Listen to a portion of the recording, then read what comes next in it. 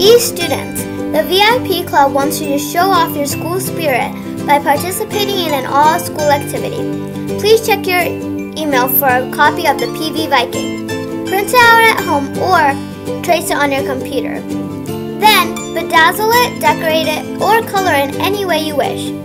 Once you do that, hang it in your home school's area or display in your home's front window. Take a picture of the artwork where yours is hanging and share the photos in the Google Drive link so we can share your images. If you share your pictures on social media, be sure to use the hashtag PVSDstrong.